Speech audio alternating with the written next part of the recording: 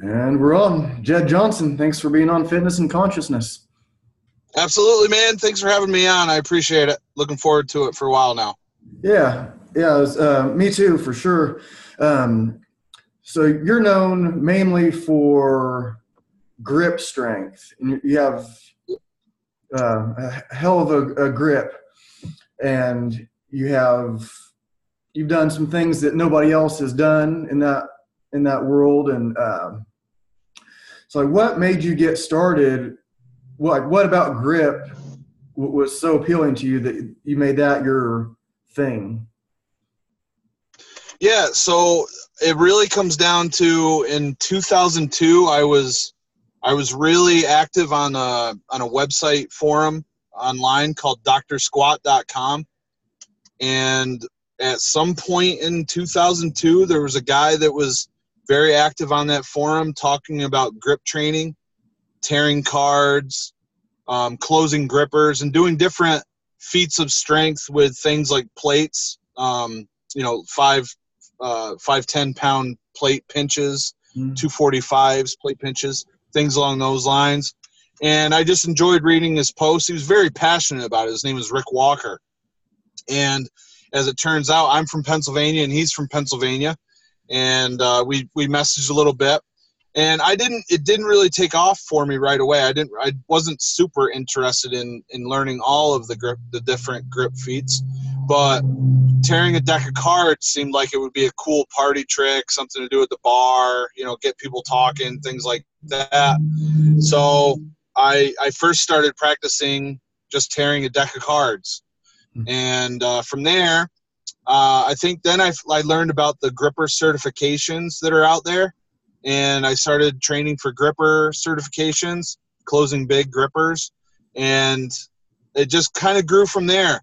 That guy Rick ended up holding a grip contest in August of 2003, and I signed up for that. He was just right down the road, about three hours away in in Pennsylvania, at, in Punxsutawney. So I signed up for that and ended up doing pretty pretty well I was doing strongman competitions at that time, and I figured, you know, it's important to have a strong grip for strongman. So I thought the two sports would complement each other pretty well. So I went ahead and focused on grip in addition to the strongman stuff. And I continued doing both until 2006, but I started having pretty significant back injuries in 2006, and I I really I was I was getting hurt a lot at the competitions. I was tweaking my back in in training a lot. So I finally just had to I had to shut the strongman stuff down. I'll still do some stone lifting every once in a while and I like working with the strongman log doing overhead press and things like that, but I don't do much more for strongman competition style training. It's it's mainly grip and just uh, your basic strength and muscle building right now. Yeah. What about the strongman do you think was was hurting your back? Was it the whole accumulation of things, or was it like particular techniques that you think were messing with you? So I think like uh, um, I don't know. I can't think of it when they just put the big, the heavy uh, bar on their back and then just walk. And they'll have like a thousand pounds um, yoke, yoke yoke carry. Yeah. yeah. Um, I think like that's that's probably not so good for your for your spine health and yeah. Like what for you do you think was causing the injuries? The main the main thing for me was the fact that I actually hurt my back the first time ever in ninth grade in gym class. Mm. There was uh, there was a game that we played called Greeny Weenie, and basically what that was is uh, uh, we would get into the wrestling room, all the boys, and then we would split off into two teams, and the gym teacher would take this giant green towel, throw it out in the center, and then call our numbers. So uh, Uh, on each team there was like a, a one and a one a two and a two three and a three etc and he might say three and eight and then three and eight would go out from each team. They'd fight over the towel and try to bring it back to their base at the other end of the wrestling room. Well it was all fine and dandy until i had to he had me go against like two dudes one time. So I'm fighting over this towel, and at some point I got into an awkward position, threw out my left uh, SI joint. Mm. So my whole life since then, even in baseball in high school, in basketball in high school, I've dealt with this SI joint problem. So when I got into strongman, you throw on the fact that I was starting with a pre-existing injury, and then the fact that I would. Uh, I, I think my technique was good most of the time. There were some things that I was probably lacking on, but I think the fact that I was constantly going balls to the walls um, I never did any deloading or anything like that. And like you said, you know, doing doing things too often and never giving yourself a break. Like yoke walk, I don't think the yoke walk itself ever hurt me. I think doing it too frequently is what got me. There was a contest where we had to do a chain yoke. So instead of the yoke being a fixed implement and steel and not, you know, rather rigid. Okay, instead of being rigid, the the the, the vertical portion that would normally be a steel was changed. So as I picked it up one time, it really started to shake on me and started to swing, and I tweaked my back really, really bad on that. So that was, if I remember correctly, that was the beginning of 2006 or possibly the end of 2005, and I was training for a competition in March I believe, of 2006. So that that really spelled the beginning of the end because I, I never really bounced back fully from that. And then I did one more competition. I want. It was in the summer of of uh, 2006, and it was just I just had to call it quits after that. I just couldn't do it anymore. So uh, that's that's really what it what it amounted to. These days, I still have to be aware of it, so it's still kind of an issue for me, but it's not it's not as bad of a hindrance as it used to be. So I would have like interruptions in my training for sometimes two weeks where I couldn't do what I what I needed to, and uh, I used to have a job in an office, and I would like be hobbling around like the Hunchback of Notre Dame because of my back injury. But uh, these days it's not nearly as bad, thank God. Yeah, because with the grip stuff, you're lifting relatively light weights compared to whatever you're doing on the yoke yoke walk, you're you're not pinch gripping that. So yeah, a lot less, a lot easier on the entire body. I would. Yeah, probably the heaviest. You know, the heaviest thing I've done in the last few years is just the double overhand axle lift, and I'm I'm under 400 pounds there, so that's not really a test for my back. Mm-hmm. Um, there have been some things where you might do a farmer pick or uh, uh, a frame lift or something like that. So those are a little bit heavier if the handle stays small, but I mean those are few and far between. So I have I still have pretty decent strength. I can double overhand deadlift probably now 450, but I've done 525 in the last few years. Mm-hmm. So I still have pretty good strength, but it's I got to just be really really careful and listen to it these days in order to avoid any issues.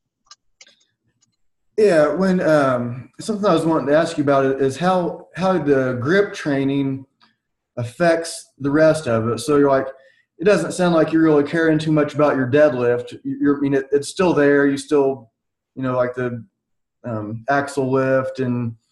Uh, but how does just training the grip or focusing so much on the grip help with the the bigger lifts like the the deadlift? Um, is like like it, like just being able to have the tight grip helps you keep everything tight, or how? Do, what's the transfer that you that you see from it? Yeah, I mean, I've never, I've honestly, um, since starting grip training, I've never dropped a deadlift because of my grip failing. I hear about that all the time, but I've, I've never actually had it happen in, in my training. Not even, I mean, honestly, not even back in the day do I remember dropping anything because of my grip. Um, so yeah, by doing grip training, by doing grip sport training like I do for competition, your hands get stronger and and it will carry over to the deadlift. But normally for the deadlift, if you're going to train to improve the grip that you're taking on the deadlift so that you're not dropping deadlifts, you would need to do like specialized training for that. So it would it it's it wouldn't even really help that much to do axle work for um, to bring up just your normal deadlift, you would want to work mainly on um, the bar that you would be using in competition, most likely. Uh, but yeah, um, you know, I continue to lift heavy when I can. Um, so in October of 2016, I, I, I probably had my worst back injury from lifting ever, and I was actually out of lifting for about a month. So I've been extremely cautious ever since then. I just put deadlifts back in uh, this spring, and I was immediately up to 450, and that's that's double overhand. So the strength interest is still there.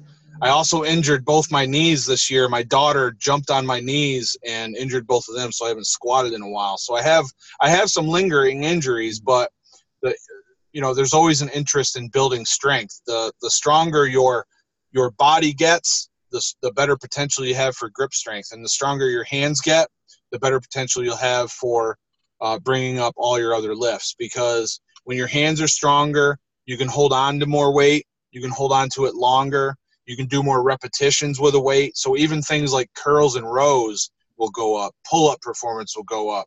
And I'd even say that, um, you know, pressing movements, bench press, um, overhead lifting, all that stuff will go up too because when you increase those, you when you increase your grip and then go to those you're you're more stable your wrist is stronger and you're able to have better command over the over the bar.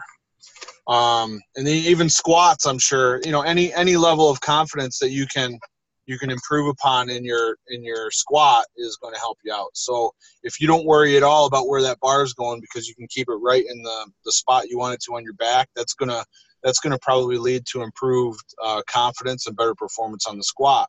So really, you know, I think it's Mark Bell that says strength is never a weakness. And if your grip is a limiting factor, then you need to bring that up. So grip is something that everybody should at least be focused on as far as maintaining a, the proper level of hand strength for whatever lifts they need to do or sports they play, etc. Yeah, I was uh, I was wondering because like my my jujitsu teacher would say something like he's like, "There's no there's no gap between your hand and your and your brain. So like if you're uh, grappling with somebody, you, you can like feel which way they're going, and it's like this immediate thing that you can react to. But I was thinking like toward for like lifting, if you can uh, like you're uh, instead of like putting straps on, so we can all lift more with with using straps. But maybe we shouldn't use straps because our our hands will say, this isn't safe anymore for the whole body. It's not just like, yeah, my, my fingers are weak, so I can't hold on. It's it's more than that. It's like this whole thing that, that that's lifting the weight of my whole body. It's not safe to do this, and my hands are like the first thing to say, we need to shut the operation down. We're not picking this thing up, or we have to let go right now. Do you like um, believe that, or do you think that's it's just like do you think that the the grip will fail to save the rest of the body? Yeah, does that make sense to you, or? Um, I honest, I I actually don't agree with that. I do agree that I do agree that there's a tremendous uh, connection between the brain and the hands. In fact, um, I don't have the reference for you, but there's actually it's like a sculpture out there that kind of uh, it kind of shows how much neural connection and activity there is between parts of your body and your brain. And um, so basically it's got like a normal size if you look at the head yeah that's kind of normal size but then the hands are like five times five times larger than the head because there's so much there's so much nervous tissue that's in there um, in that peripheral nervous system that uh, it really dwarfs the amount that's in so many other parts of your body. So I agree with that. But um, I actually feel that straps and and other grip aids have their place in training because yeah you don't want to have a weakness in your grip but at the same time um, my back uh, i mean i have no grip issues but my back um, can handle way more weight than my hands can so if I want to do like a, a rack pull, or some kind of a rack lockout and hold or something like that, um, you know, I can pull way more weight off the rack with my back strength than I can what my hands can handle. So if I'm looking to just bring up my back strength using a rack pull in order to perform better on uh, maybe say uh, let's say my arms are all torn up from lifting stones and I can't I don't have I can't go out there and train stones and I can just load my back real heavy with some rack pulls and some wrist straps. I don't see a problem with that. Mm. Um, I wouldn't do I wouldn't wrap for every single deadlift that you do in the gym because that's kind of like uh, that's kind of like putting a band-aid over a muscle pull that's not really doing anything for you of benefit but if uh, if your supplementary lift for your deadlift is rack pulls and um, you know if you can deadlift 500 pounds but you can rack pull 700 then let's throw some straps on there and see if we can do some rack pulls with like 715 mm-hmm. so uh, you know don't i wouldn't ever tell someone to hold back the development of the rest of their body just to um, avoid the use of straps yeah, I was uh, wondering because there was like I didn't use straps for a, a, long time, and then I was doing some rack pulls, and the numbers are fun because we're piling on weights, and it's it's easy to, you know, keep keep adding, and it was like when I started using the straps though, like I felt like maybe I wasn't keeping um, like my lats and everything as t- as tight, or maybe like I couldn't uh, like I'm having to like grip it more, which of course you're gripping with the straps too but like the straps like made me it, it or at least I felt maybe it was just because I was going so much heavier than uh, without, but it felt like I was maybe like losing tension and making it not mm-hmm. safe, which made me kind of wonder. Well, maybe if my hands are saying this is a bad idea. We're not going to lift this weight because we're we're smarter than than you are. We're going to uh, shut this down. But like I was doing, like I've done like real like short range, just like maybe four inches or so, like 607 with the, the rack alternate grip. And, uh, right. and it's like, it's real tempting to like want to go back to the, the straps. And I, I didn't really, I don't have a lot of experience with the straps. So I was just kind of wondering, um, like, do you feel like the tension, do you have like any trouble keeping, uh, staying tight when you're using I, straps or is it not, not an issue if you practice enough? I think no. I right there, what you just said, I think is a, is the most important thing. I think I think tension management is a skill. Okay, being able to turn on tension when you need to, shutting it off when you need to, and maintaining it for the duration of the time that you need it. That's all a skill, and that's something a lot of people don't realize. So if you if you hook up with straps on a rack pull, then you've got to it's it's really a different lift. You're not deadlifting it. You're doing a you're doing a rack pull. So you've got to make sure that everything's locked in there tight. Um, I don't I don't I don't think the the the hands are saying that it's unsafe. I really don't. I think what you got to do is you got to approach that in a way where you've you you go through a different checklist in that operation. So your the, the checklist for a deadlift is probably a sequence of maybe five cues that you've got to go over in order to perform that exercise safely. Well, it's going to be similar, but it's probably going to be a little bit different when you lock up for a rack pull because it's coming from a different height and your angles are going to be different. So it's it's probably just a matter of practicing that movement and getting better at it and getting used to the um, the, the subtle differences that are taking place. So uh, you know, I, I I can think back to a time probably late late last year where I was uh, regular regularly doing rack pulls, and when I videotaped them, I noticed that uh, my angles were all off, and I didn't have tension in my lats either. So, because it was feeling really uncomfortable on my back, and it didn't make any sense why. So, I think I had just gotten into a bad habit because if I do like a rack hold with an axle. An axle is about two inches in diameter. So it doesn't test my back because the weight drops so much.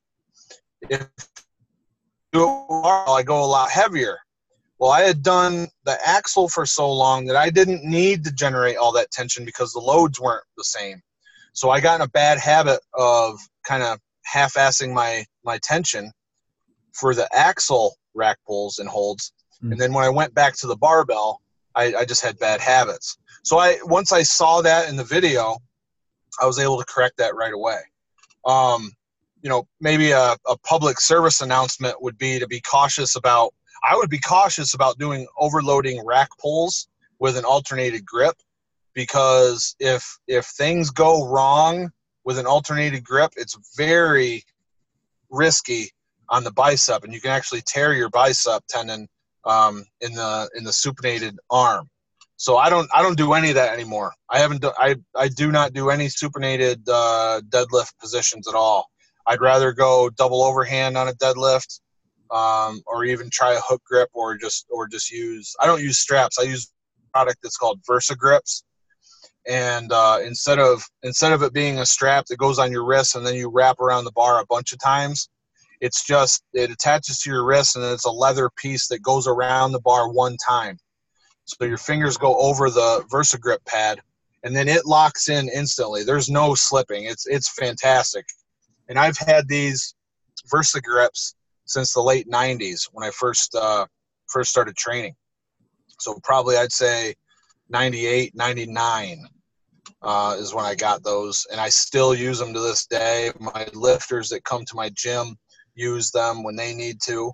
Um, because you know on a lift like uh, Romanian deadlift, you know you don't want to sacrifice the development of your posterior chain just because you can't hold on to the bar.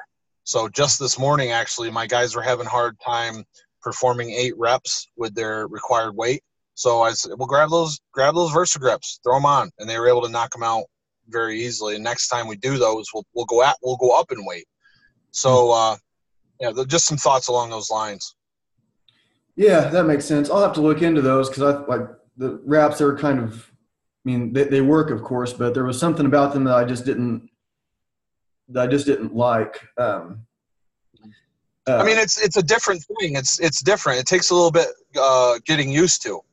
Um, you know, they also make uh, they make hooks, lifting yeah. hooks and you could try those. Maybe that would feel a little bit better for you.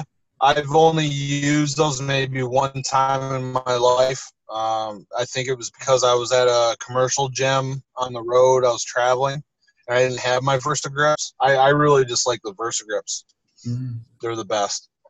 Yeah, I'll have to I'll have to check those out because I do like to lift the the heavier weights. It is fun to pile on the plates and uh, lift more. So um, I remembered what, when you did it and posted this video, and then I just went back today um, looking into like some more things to talk to you about, like when you uh, yeah. lifted the uh, double 45 Yorks. And yes, like, yeah. The we call those in the grip community we call those old school Yorks because they're uh, they're also called deep dish Yorks they're about twice as thick as the 45s that you see most times these days. And uh, to top that off, the inside ridge is very, very narrow. So to put those together, smooth sides out with the print facing in, and then grab them and pinch them off the ground, it's very, very hard because the, the second they shift just a little bit, they want to drop right out of your hand. So it's it's tough enough to lift 245s. Most people will train for years and not be able to lift 245s mm-hmm. with a that are that are thinner and have a nice ridge on the inside where they line up and you, you have some forgiveness there. But there's not a lot of forgiveness with the old school Yorks. And uh, yeah, in that video, I lifted a pair in each hand, and I was the first person to ever do that. Um, that's based on research from Richard Sorin, Sorinex.com Sorin Exercise Company. Mm-hmm. Um, and he's really considered like the one of the fathers, one of the founding fathers of grip training. He was the first uh, captain of Crush. So if you close the number three gripper under authentic conditions through the IronMind Enterprises company, you can get the title uh, captain of Crush. And he was the first person ever to close the number three. He was also the first person to um, consider uh, lifting a, a broken half 100 pound York dumbbell, and he called it the blob. He was the first person to train for that and actually pull it off. And then he was probably one of the first, or he was definitely one of the first, if not the first, to lift um, a pair of old school Yorks off the ground. And um, you know, I, I for years I heard him talking about that feat, how he had never seen anyone do um, a pair of old school Yorks in each hand. Uh, in 2011, I went to the Sorinex uh, headquarters. There was a thing called Summer Strong that they held there, and there was a guy named Chad Woodall, extremely strong, probably one of the top three, if not the top grip guy in the United States. Um, and he tried probably 20 times to lift the old school Yorks and was never successful. He was able to get one pair in each hand separately, yeah. but he wasn't able to get both pairs at the same time. So, you know, after that, I started training it pretty hard. Um, I first was able to lift one pair of old school Yorks in like 2013, and I think that's the video you'll see if you go to my YouTube channel. Um, it's youtube.com slash Jedd Johnson with two D's. Um, I'm pretty sure that's the, the featured video that's on my channel. Um, and that's the first time I actually lifted one pair to lockout. That was 20. If, if, if it was 2013, it basically took me another three years to pick up the the other one at the same time. So it, it took me a long time. So I did that. I did that. I think in March of 2016, and then Chad Woodall, the guy I was talking about before that tried it before, he went to Sorinex like a month and a half later, and not only did he pick them both up, he picked two pairs up, but he also farmers walked them in the oh. same session. So he totally blew my feet out of the water. but uh, um, yeah, that's that's probably one of the feats I'm I'm most well known for is that one, and uh, it was one of the things that I work I had to work the hardest for as well.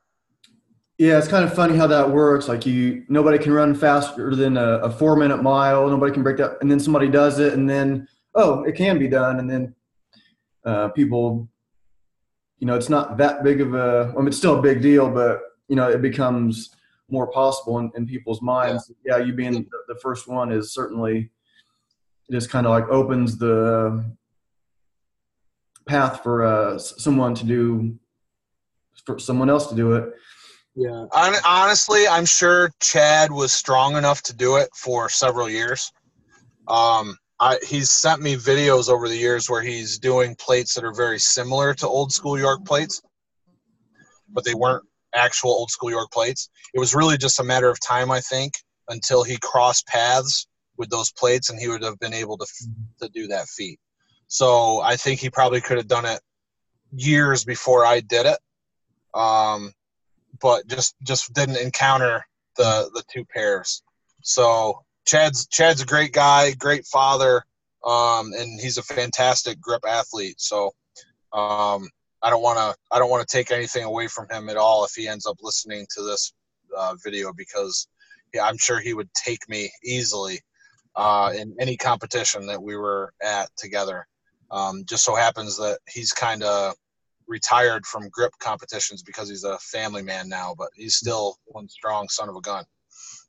Yeah, it's pretty amazing. I think this. I mean, you get you get pretty emotional in that video. You can tell that you worked um, really hard for that for a really long time that and that it meant a lot and I think a lot of people may not understand yeah, no doubt maybe maybe they don't understand what they're looking at and I mean I'm I'm into grip too but I'm nowhere nowhere near what you're doing um, not, not, even close but uh, yeah it is kind of this thing you work so hard for something. Like for me like my StrongFirst certification it was like this impossible thing and then you know you finally end up doing it and it's like okay cool now now what's next? And so um, speaking of uh, competitions um, you said you have one coming up in a, a couple weeks. What um, what's that about like what uh, what kind of lifts will you be doing and Like what what does the grip competition look like?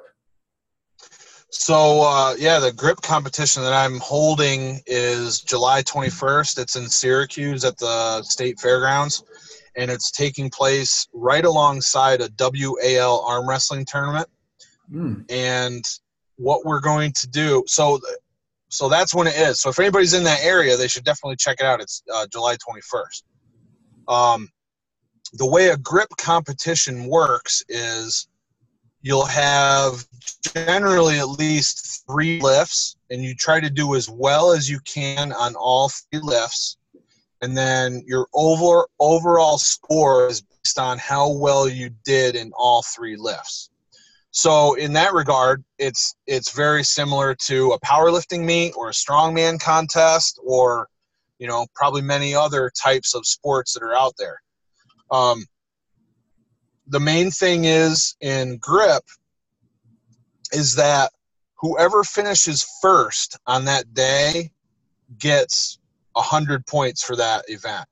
And then the score that each person gets or the weight that each person gets in that event is then divided by the number one uh, score the first place score so they get a percentage score based off the best lift of the day for that event so um, if I if I let's say on uh, on a pinch lift, maybe I get 120 pounds. Then if that's first place, then I'll get 100 points. And then if someone else gets 100 pounds, then that's 100 divided by 120, which is, as we all know, is 5 divided by 6. What's that? 85? Dude, I don't know. Like Whatever it is. Um, so you get whatever that mathematics ends up being. That's what that's what your score is. So um, the nice thing about grip is you are you are rewarded for kicking everyone's ass. Mm-hmm. So if you blow everybody else away in that event, you'll get 100 points and they'll get a small percentage of that. In in strongman, it's different. If you get first place, you get 1 point and then second place gets two points whether you beat them by 50 pounds or 500 pounds yeah. so um, so i like grip scoring when it's score from time to time and it's it's a whole different ball game but generally grip is done on that base 10 or base 100 uh, scoring model so um, and then sometimes you might run into a grip contest with steel bending. These days, that's almost non existent. Generally, steel bending is done completely separate as a different practice in sport altogether. It's far more common to have something like a wrist roller, where the wrist roller is fastened in a in a cage or some kind of supporting device, and then it's got a cable or a strap or something like that attached to the wrist roller, and then at the end of the strap or or cable, there's a sled and you would pull you would turn the wrist roller in order to make the sled come to you and you try to finish the course as quickly as possible. Um, also a lot of times there's a medley in a grip contest uh, medley is where you've got all kinds of different challenges that you have to try to either lift close a gripper bend a, a bar, maybe rip a phone book, but there's all these different challenges that are lined up, and you have to try to complete as many as possible inside uh, the given time limit. So at the national championship this year, there were 12 items. There were multiple difficulties per item. You get and you were you would get points. Uh, you would get more points if you lifted the item that was heavier or more challenging and you had 90 seconds to do that. Um, so a lot of grip contests also have medleys. So that that's a cool thing about grip that you don't see in something like powerlifting. In powerlifting, it's the same three lifts all the time, and the only way it varies is if you change your weight class or if you go to an event that's raw instead of using um, the, the the lifting equipment, the the suits, the bench shirts and suits and things like that. So, um, but but in general, there's three to five events at a grip contest and you want to do as well as you can in each one in order to get as good of a score as possible because your your score at the end is based on how well you do in each event And then in July on the 21st in Syracuse, what we're going to be doing is we're going to run four events. And the order is escaping me right now, but the four events are the Napalm's Nightmare, which is a double, a two handed rolling handle implement. Then there's the the shallow inch pinch, which looks like you're kind of uh, pinching on a matchbook or a harmonica in your in your hand like this, something small. It's it's you can't really wrap your hand around it. You use a, a key pinch. Um, we're using uh, the inch wrench, which is another kind of rotating handle implement, but it's a little bit different and it attacks the thumb, wrist, and fingers in a different way from the Napalm's Nightmare. Um, those three lifts, instead of using weights, what we're going to do is, is we're going to attach those implements to a crane scale, and then you're going to pull isometrically as hard as you can in order to get the best score that you can. Hmm. And whatever whatever number uh, reads out on the display, that's the score that you, that's the lift that you perform. Instead of carting up there all kinds of plates and having to weigh them and figure out what exactly they weigh or scare up calibrated plates, that's what we're going to do. So those are the first three events: Napalm's Nightmare, um, Shallow Inch Pinch, and the Inch Wrench. And if you help me remember, I'll remind I'll I'll tell you exactly why it's called the inch wrench. So those are the first three events, and then the last event is a pinch block hold for time. So uh, I market an implement called the pinch block, and um, generally it's used for curling and strengthening the fingers and wrists, just like a plate curl. But for this one, we're going to load weight onto it, and we're going to pick it up and hold it for time and you want to hold that thing as long as you can. So we'll start the clock the second that it, it leaves the ground, and then your the time will stop once you drop it or set it back down. So those are the four events. And the reason the inch wrench is called like it has that name is because it's a training implement for lifting the inch dumbbell, mm-hmm. which is one of the famous challenge bells that used to it's it's it gets a lot of attention. It's been strongman competitions for over, but a 172 pound dumbbell with a handle that's two and three eighths inches thick. So it's it's a handle that's about as big as a soda can, attached to um, a, a giant circus globe head dumbbell, and it's all cast iron. It's all one piece. So when you try to lift this thing up, the globes are even bigger than the handle. So the globes start to rotate and it really rips your hand open. So the inch dumbbell lift itself is a very, very hard lift. So the inch wrench is used to train for the inch dumbbell because there is a, a strap that goes out the circumference of the handle. So the rotation that it creates is very, very vicious. So it's a good way to it's a good way to train to lift the inch dumbbell without actually having to buy an inch dumbbell because they're they're actually pretty expensive. They they cost four hundred and seventy five dollars. Mm-hmm. So and that's that's before shipping. Mm-hmm. Shipping can be a nightmare too, depending on on where you live. So mm-hmm. inch dumbbells are rare. The inch wrench makes it possible for you to train for them, uh, just using the implement and a, a loading pin and a stack of weights. So um, those are the four events.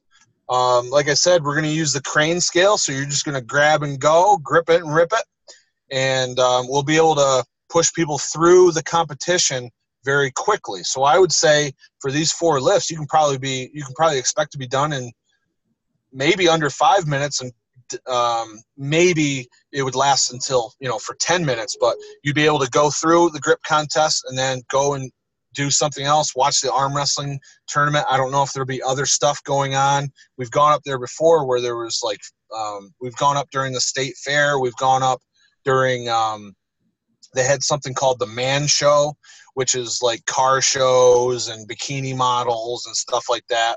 I didn't name it, so don't get mad at me. That's just what it was called. Um, so I don't know. There's going to be other stuff going on. What's cool about this contest is that you're going to be done in five to ten minutes. Whereas in a normal grip competition, you're you're locked in for a minimum of four hours, sometimes longer, mm-hmm. um, because they're they're running a much different format and you get more attempts. You're basically only going to get one attempt uh, at this competition, but that's all you're going to need because you really don't you don't see much of an increase on uh, on a crane scale pull. So there's no there's no getting a safe lift so that you're on the board and don't zero out like a normal grip competition. You're just gripping it and ripping it. So uh, that's how the contest is going to go. It's going to be interesting. It's the first time that a contest of this nature has been fully sanctioned by Grip Strength International. So this competition will qualify all of the winners in each weight class for the North American Grip Sport uh, Championship in 2019. So I'm really excited about it in that regard because it's the first time it's ever happened. It's uh, we're trying out something new, and I think it's a way to introduce more people to the sport. And I, I, I think the possibilities there to end up having some like absolute monsters show up that we've never seen before, we've never heard before, and these people sometimes don't even know what grip is, and they just get their hands on the implements, and you see them picking up inch dumbbells and blobs. They don't normally pick up the old school 45 York plate, but um, you know, every once in a while you see somebody that is just really surprising and they're able to do some crazy stuff. So I'm expecting to see some of those people walk up and, and try their hand at it and do pretty darn well. So uh, we're gonna we're gonna see what's what happens here in a couple weekends. Yeah, it sounds really cool. Good spot to do it, like arm wrestling competition. That I would think a lot of those guys, so they could just maybe they sign up for the arm wrestling competition. They they don't know that you're the grip competition's going on, maybe they're they're like, oh, I want to try this out. They can just walk up and give it a shot. Is that- yeah, it's uh, I I think it's just going to be five dollar entry fee in order to uh, to compete. So it's real easy. Normally in a grip contest, uh, you're looking at a minimum of twenty dollars to compete, sometimes more. Um, so uh, it's it's not a big it's not a big investment in order to compete in this contest either. Yeah. Are there weight classes? Yeah, yeah, there are. Um, the let's see if I remember them. Um, I know that there's one in the 50s. I want to say it's 54 kilos. Um, and then there's also 66 kilos, 74, 83, 93, 105, 120, and then 120 plus. That's for the men. The the women's categories, I honestly don't recall what all the weight classes are. They're similar to the men's, but not exactly the same. Like I believe there's two 50 kilos, like a 53 and a 58 kilo maybe, and then a 63. So I can't you can't go by my memory right now for the women's categories, but the the men's categories have been around for a lot longer. We're always trying to get more women involved. Like every time that I do one of these types of competitions, I get women that that take part. So that's awesome.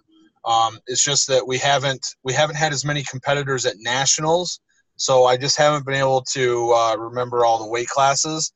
But if you go to gripsport.org and check out the top 100 list. You're able to search by weight class and uh, by uh, gender, so you'd be able to figure out what all those weight classes are that way. Um, so yeah, absolutely, dude. Weight classes. There's no, you know, it's it's, uh, you know, just because you're heavier than somebody doesn't necessarily guarantee you're going to have a stronger grip. But when you're heavier than someone, chances are you got a lot more muscle on your body. So, um, in in many cases, it is important to track the body weight. Now, there are actually the the North American champion from 2017 was in the 83 kilo class. Hmm. The champion this year was from the 93 kilo class.